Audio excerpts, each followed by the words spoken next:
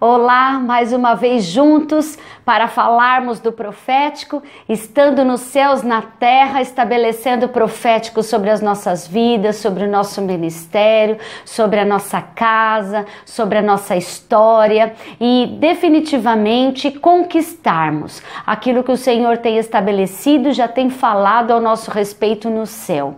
Que os céus sejam abertos agora e que eles estejam realmente na terra para estabelecer toda a vontade do Senhor sobre a nossa casa e principalmente sobre as nossas vidas. Sobre essa palavra, eu quero começar com uma frase que diz assim: O antes é tão importante quanto o depois. É interessante que quando eu pensei e meditei sobre esta frase, eu comecei a entender que quando nós, como ministros de Deus, sabemos que o hoje e o que Deus coloca na nossa vida é tão importante e é tão essencial nos posicionarmos para alcançarmos uma promessa e uma conquista lá na frente, eu quis deixar essa frase para nós começarmos é, a meditar nessa palavra, porque se nós não estamos posicionados naquilo que o Senhor nos deu hoje, como vamos alcançar as coisas grandes amanhã? Se não estamos acreditando e andando pela fé naquilo que Deus tem nos dado hoje, como vamos pisar no sobrenatural e viver as suas conquistas o amanhã? Essa palavra é para nós hoje. O tema de hoje é não tire o olho da sua bênção. Os nossos olhos têm que estar nas bênçãos do Senhor. O nosso foco tem que estar em Cristo e nas suas promessas estabelecidas. Sobre isso, eu quero que você abra no livro de 2 Reis Reis, nós vamos falar de uma passagem que você, como ministro de Deus, homem, mulher de Deus, conhece muito, que está em 2 Reis, capítulo 13, nós vamos ler a partir do versículo 14, que fala de uma história de um rei. Nós estamos falando de ministros, nós estamos falando de homens e mulheres que Deus está levantando nesses últimos anos, nesses últimos tempos, para estabelecer o profético, para estabelecer o reino de Deus nessa terra. Então, nós vamos falar de autoridade para autoridade. Nós vamos falar como nossos posicionamentos diante de Deus fazem sentidos hoje para conquistar o amanhã. Diz aqui na sequência. É, no, no, versículo 14 do capítulo 13 de 2 Reis, diz assim: Jeoás, rei de Israel, desceu a ele e chorou sobre o seu rosto e disse: Meu pai, meu pai, carros de Israel e seus cavaleiros. E Eliseu lhe disse: Toma um arco e flechas. E tomou um arco e flechas. Então disse ao rei de Israel: Põe a tua mão sobre o arco. E pôs sobre ele a sua mão. E Eliseu pôs as suas mãos sobre as mãos do rei. E disse: Abre a janela para o oriente. E abriu-a. Então disse Eliseu: Atira. E atirou. E disse: A flecha do livramento do Senhor é a flecha do livramento contra os sírios. Porque ferirás os sírios em Afeca até os consumir. E disse disse mais: Toma as flechas, e tomou-as. Então disse ao rei de Israel: Fere a terra, e feriu-a três vezes e cessou. Então o homem de Deus se indignou muito contra ele e disse: Cinco ou seis vezes as deveria ter ferido, então feririas os círios até o consumir. Porém, agora só três vezes ferirás os círios. Essa palavra ela é tremenda aos nossos corações porque ela nos traz muitos ensinamentos e principalmente para nós como ministros hoje. Hoje eu quero meditar sobre a sua vida e sobre a minha vida e sobre a nossa chamada ministerial, como a nossa postura como um ministro, como um flecheiro, como uma autoridade no reino de Deus nós temos que ter, porque não é a quantidade que faz a diferença, mas a posição e o posicionamento e como atiramos as flechas, como nos posicionamos diante de um alvo que vai fazer toda a diferença. O Senhor diz aqui que foi dada uma ordem profética para aquele rei que ele pegasse o arco e a flecha, e ali diante do profeta ele atirou, e houve uma palavra ah, diante do, do rei de Israel, houve uma palavra profética de que aquela atitude de lançar a flecha ia trazer livramento para Israel.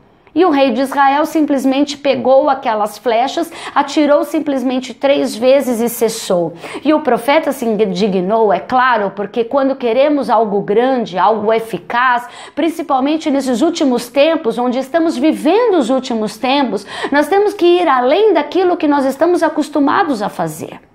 Se hoje levantamos, trabalhamos, ministramos, é, é, é, oramos pelas pessoas, aconselhamos, o Senhor vai exigir de nós duplamente maior efetividade naquilo que estamos fazendo, porque estamos nos últimos tempos.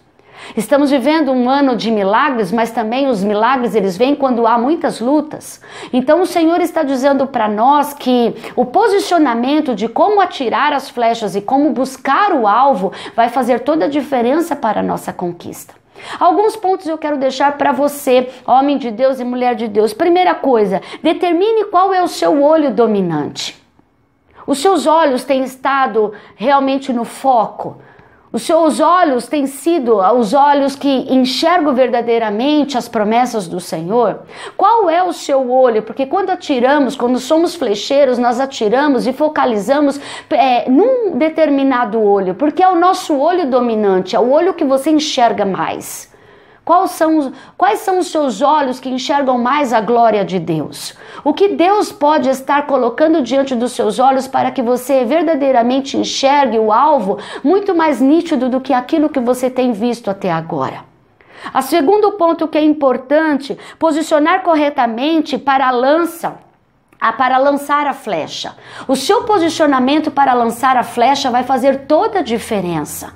O seu posicionamento como uma autoridade, como reis e sacerdotes nessa terra, como o Senhor diz lá em 1 Pedro 2:9, o seu posicionamento como autoridade vai determinar a velocidade, vai determinar como a sua flecha vai chegar ao alvo e de que maneira vai chegar ao alvo.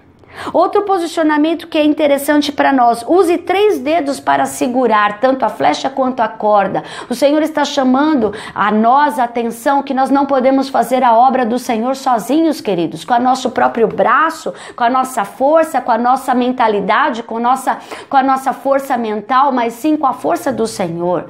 Lá em Salmos, capítulo 37, versículo de 3 a 7, confia, deleita-te do Senhor Confia nele, entrega o seu caminho ao Senhor.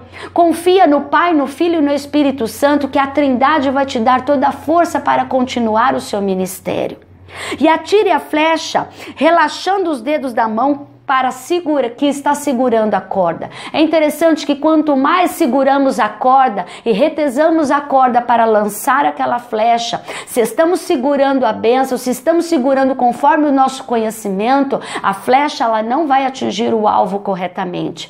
Mas se lançamos, se lançamos a, a flecha e largamos aquela corda de uma maneira muito mais eficaz, a, a flecha vai seguir o seu rumo.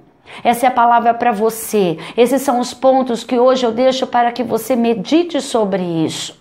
O que você tem feito? Seus olhos estão aonde? Como você está fazendo a obra do Senhor, com o seu braço ou com a força do Senhor?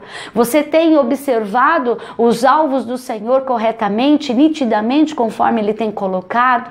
Você tem largado a corda que lança a flecha da maneira como o Senhor quer e como Ele determina?